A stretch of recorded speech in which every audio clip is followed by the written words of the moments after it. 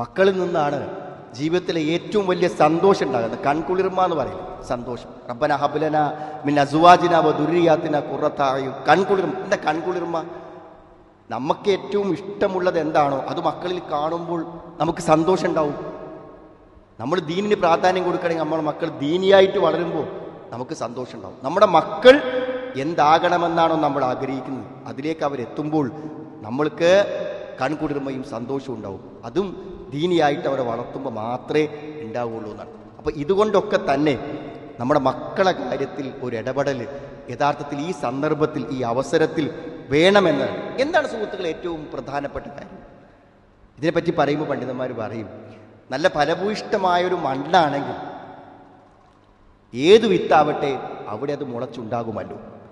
നമ്മുടെ കുട്ടികളിൽ എന്ത് നന്മ ഉണ്ടാകണമെങ്കിലും അവർക്ക് അടിസ്ഥാനപരമായ വിശ്വാസം വേണം. പടച്ചോന പേടി വേണം.